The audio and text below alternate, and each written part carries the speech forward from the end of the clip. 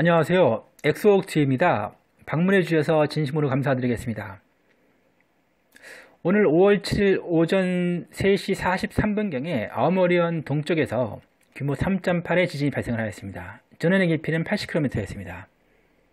어, 저는 이 아오모리와 홋카이도를 하나로 놓고 보고 있습니다. 이, 이제까지 지진 상황 놓고 봤을 때 아오모리와 이 홋카이도의 지진의 양상이 함께 같이 가는 양상을 보였고 이 아오모리에 물론 저기 로카쇼무라 핵 제철의 공장이라든지 그 이도마리 이 원전 관련된 부분의 연관성도 그랬고 다음에 이 쿠시로라든지 아니면 네무로 이, 이 지진 이 여기서의 지진들이 다 이 아오모리 해상에서 같이 이렇게 아, 지진이 연관 아, 지진이 발생되는 이런 영상들을 많이 보였습니다. 아, 지금 저기 이 오늘도 홋카이도에서 아, 계속해가지고 지금 지진 났죠. 특히 이 오늘 발생한 홋카이도의 이 우라카와 우라카와의 지진 같은 경우도 어, 상당히 좀 강진이었습니다. 이 우라카와의 그 우라카와 지진 같은 경우는 일본 기상청은 4.1로 파악을 했고 지금 USGS에서는 4.3으로 파악을 하고 있죠. 한번 USGS를 한번 보도록 하겠습니다. 그럼 USGS를 한번 보시면요. 보시면은 이 5월 7일 어, 새벽 어, 15시 14초에 4.4으로 나오죠. 예. 이런 이 홋카이도의 지진이 이 보시면은 이 전체적으로 이 남태평양과 이 남미, 중미, 이 미국 미주의 샌 안드레스라든지 이쪽에 지금 알류산 열도와 쿠릴과 캄차카 이 모든 것들이 다 결국에는 이 재팬의 브레고리로서 영향을 주는 라인이거든요. 그러면서 이제 재팬에 영향을 주면서 계속해가지고 지금 근데 이제 최근에 알류산 열도와 이 쿠릴 열도가 이 홋카이도 영향을 주면서 오늘 어, 발생한 이 그 아오모리의 지진, 그 다음에 이 오라카와의 지진 역시 영향을 주고 있다고 저는 판단을 하고 있습니다. 지진을 한번 보시면은 여기에 지금 지진 사항을 보시면은 이 뭐 물론 이 남태평양 그럼 우리가 항상 하는 얘기 있죠. 바누아투의 법칙. 그래서 그 어, 저는 근데 그렇게 생각합니다. 그 바누아투라는 게 어차피 그, 그 지진, 그 남태평양의 그 지역에서의 지진들이 그만큼 일본에 많은 영향을 주고 있는 것이다.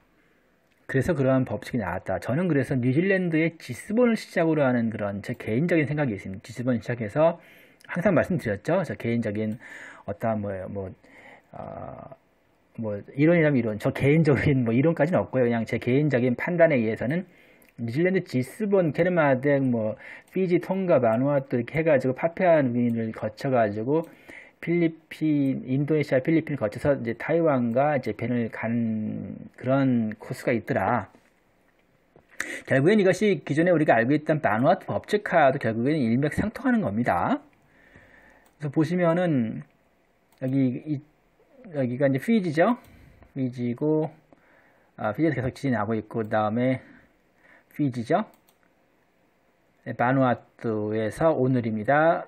아, 전다 이 어제죠. 어제 그 5.3. 또 바누아투 어, 5월 4일 5.0. 그래서 이렇게 바누아투에서 지금 계속해서 지금 지나고 진 있습니다. 네, 또 바누아투 5월 1일 5.4. 바누아투 5.1.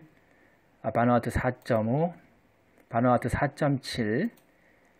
아, 솔로몬 5.1, 솔로몬 4.8을 계속해가지고 이 남태평양에 일본의 지진이 날 때 항상 함께 이렇게 연동해서 지진이 났던 곳에서 계속 지금 지진이 나고 있죠. 뭐 파푸아뉴기니도 계속 지진이 나고 있고요. 여기 보시면은. 그러면서 이제 그 인도네시아와 저는 이제 인도네시아, 필리핀 Y자를 그린다고 그리는 것 같다라는 제, 제 개인적인 판단이 있었죠. 보시면 인도네시아 쪽이죠. 여기는 동티모르, 예. 다 인도네시아, 인도네시아 쪽입니다. 보시면서 인도네시아, 그 다음에 여기 필리핀으로 올라가겠죠. 다바오 쪽으로 해가지고, 예, 필리핀, 사랑간이를 해서 올라오면서 타이완을 거쳐가지고, 이제, 어, 타이완 거쳐서 재팬으로 가는 이 라인이 지금 움직이고 있다는 거죠. 타이완도 보시면은, 지금 타이완에 그, 여긴 이제 바로 그, 그, 요나군이로서 그 오키나와 현보다 오히려 대만과 더 가까운 곳입니다. 거의 뭐 대만을 보실 수 있는 요나군이에서 지금 4.6, 다음에 그 이시가키 재팬에서 5.5 그래서 계속해서 지금 이 난세이 제도에서 이 난세이 제도에 결국에는 이 아까 좀 전에 우리가 보고 온 데서 치고 올라오는 겁니다. 그러면서 쿠릴 열도에서 이제 그 도카라에서도 지났었죠. 그래서 계속해서 치고 올라오는 거고요. 그 다음에 제가 말씀드렸던 요 라인, 요 라인도 지금 움직이고 있죠. 요쪽 라인, 뭐 저기 이쪽에 그 마리아나 요쪽도 지금 이쪽이 움직인다는 것은 또 이제 도쿄가 또 위험할 수 있다는 얘기입니다. 이제 그, 그러니까 수도권, 일본의 수도권이 마리아나 계속 난다는 것은 이건 굉장히 불길한 이즈레도 오가사와라, 여기 이오지마, 화산섬이 움직인다는 얘기죠. 그럼 도쿄 쪽으로 간다는 얘기입니다. 지금 지진이 이쪽을 통해서 이 라인을 통해서, 그러니까 저는 항상 말씀드리지만 두 개의 라인이 있다고 저는 봅니다. 우선 기본적으로 또 가장 큰 치명적인 거는 두 개의 라인이다. 도쿄 수도권 했을 때 제가 생각하는 거는 이제 이두 개의 라인이라고 저는 항상 말씀드렸죠. 지스본을 통해서 어, 파피아에서 Y자를 그리고 나서 타이완에서 재팬 요 하나의 라인 그 다음에 마리아이나에서 오세아니아 저기 그, 그 거기 보인 아일랜드 이지제도를 통한 이 두 개의 라인이 있는데 이 두 개의 라인이 지금 현재 다 움직이고 있지 않습니까? 좀 전에 마누아토 보셨죠? 마누아토에서 굉장히 강하게 지금 치고 올라오고 있죠.